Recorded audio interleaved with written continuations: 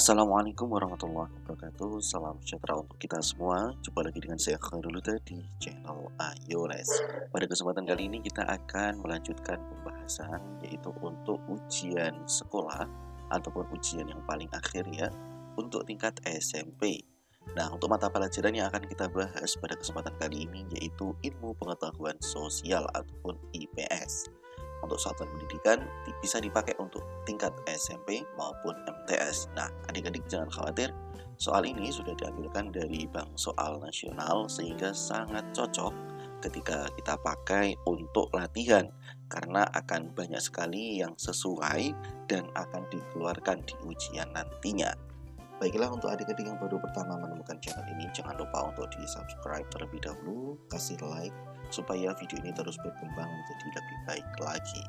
Baiklah, tanpa berpanjang lebar, untuk adik-adik yang mau request pembahasan soal lainnya, dipersilakan untuk menuliskan di kolom komentar. Atau bila mana ingin secara instan mengambil PDF-nya, beserta kunci jawaban dari semua mata pelajaran, sudah kakak siapkan di chat WA ya. Baiklah kita langsung lanjut ke pembahasan dimulai dari soal nomor 1. Perhatikan gambar berikut ini. Dampak kondisi infrastruktur terhadap interaksi antar ruang seperti tampak pada gambar adalah titik-titik. Nah, dari gambar ini kita bisa tahu ya adik-adik bahwasanya gambarnya sudah rusak dan eh, jalannya sudah rusak dan berlubang. Kita lihat di sini ada kubangan-kubangan air. Nah, berdasarkan gambar tersebut kira-kira hambatan apa ataupun dampak kondisi infrastruktur seperti apa yang dapat berpengaruh A meningkatkan interaksi. Nah, ini tidak. Kemudian meningkatnya interaksi antar ruang karena permintaan barang menurun tidak, tidak ada kaitannya. C menurunnya interaksi antar ruang karena waktu pengiriman bertambah. Ya, ketika jalannya berubah ataupun jalannya rusak, di situ pasti akan ada penurunan e, interaksi antar ruang karena ada waktu pengiriman yang bertambah. Ya, jawabannya adalah yang C. Kita lanjut ke soal nomor 2. Perhatikan negara berikut ini, satu Malaysia, Singapura, Filipina, dan Australia. Wilayah utara Indonesia berbatasan dengan negara yang ditunjukkan oleh angka titik-titik. Nah, bagian utara Indonesia itu dibatasi dengan yang paling timur, eh sorry, yang paling barat adalah Malaysia. Ya benar. Kemudian Singapura dan Australia. Ya jawabannya adalah yang B.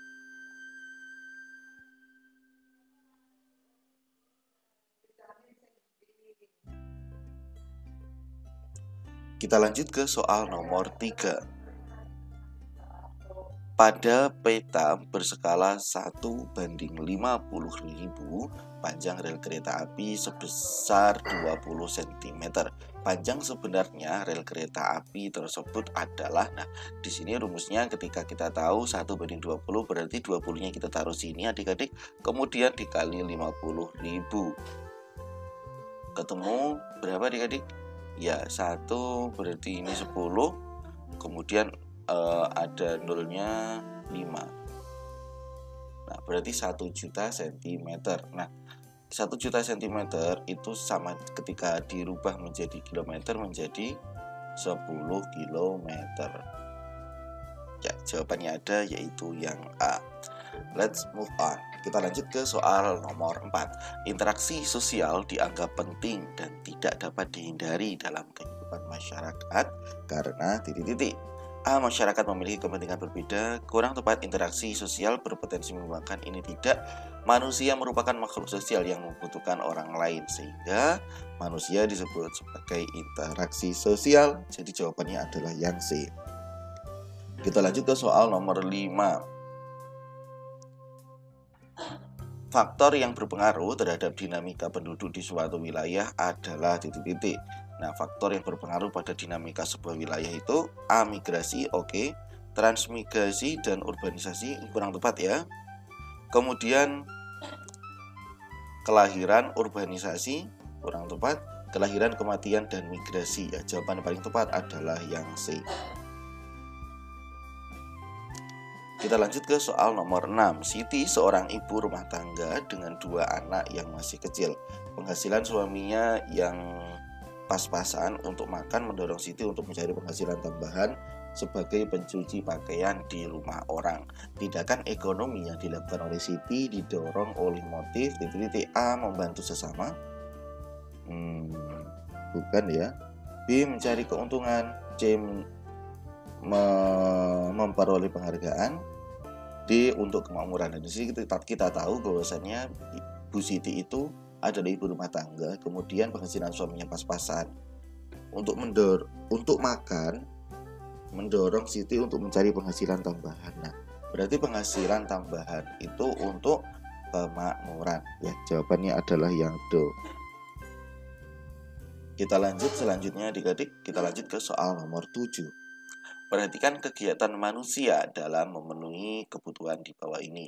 Berdasar pernyataan di atas yang merupakan kegiatan manusia sebagai makhluk sosial ditunjukkan oleh nomor titik-titik ya. Soal nomor 7 jawabannya adalah satu memberi pinjaman tanpa bunga, oke. Okay. 3 penyisian, oke, okay. dan 5 ya. Jawabannya adalah yang do. Kita lanjut ke soal nomor 8. Perhatikan fungsi uang di bawah ini. 1, 2, 3, 4. Satu alat tukar, dua alat satuan hitung.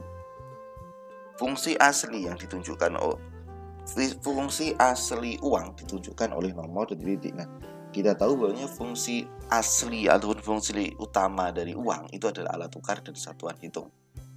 Berarti ya ada yaitu yang A. Kita lanjut selanjutnya adik-adik kita lanjut ke soal nomor 9 kerajaan-kerajaan bercorak Islam di Indonesia adalah titik-titik. Nah, kerajaan bercorak Islam di Indonesia yaitu adalah Demak, Samudra Pasai, Aceh. Ya, jawabannya adalah yang do. Kita lanjut ke soal nomor 10. Perhatikan peta berikut ini. Dari gambar di atas, kerajaan Demak terletak pada nomor titik-titik. Nah, kita tahu bahwasanya kerajaan Demak itu berada pada nomor nomor apa adik-adik?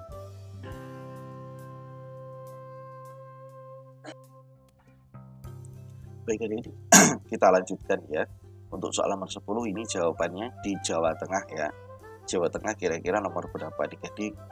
Ya, Jawa Tengah berada di nomor 4 ya. Yang A. Kita lanjut ke soal selanjutnya.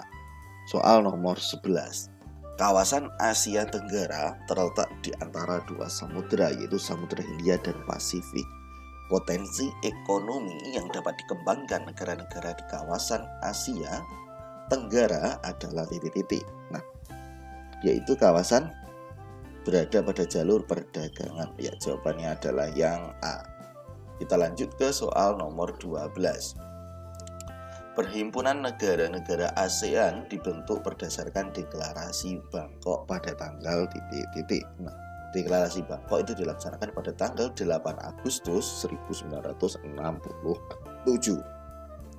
Kita lanjut ke soal selanjutnya, soal nomor 13. Krisis ekonomi di suatu negara mengakibatkan berbagai persoalan. Salah satunya adalah banyak pegawai yang diberhentikan sehingga pekerja bekerja dengan posisi yang lebih rendah di tempat ya, kerja baru. Si A yang dulunya menjadi manajer di suatu perusahaan terkena PHK sehingga saat ini menjadi staf di perusahaan lain. Gejala sosial ini termasuk mobilitas sosial titik-titik. Nah, kira-kira apa jawabannya? A. Vertikal ke bawah B. Vertikal ke atas C. Antar generasi Ataupun D. Intragenerasi Ya, jawaban yang paling tepat untuk soal nomor 13 Apa adik-adik? Kita tahu bahwasanya dia dipindahkan dari posisi yang tinggi turun menjadi posisi yang bawah Berarti itu adalah vertikal ke bawah. Jawabannya yang A.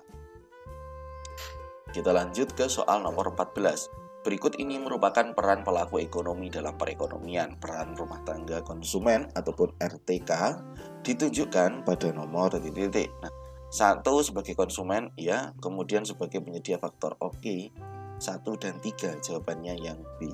Kita lanjut ke soal nomor 15. Berdasarkan bagian di samping yang termasuk arus sumber pendapatan rumah tangga, produsen adalah titik-titik. Yaitu yang ini ya. Berarti yang do yang empat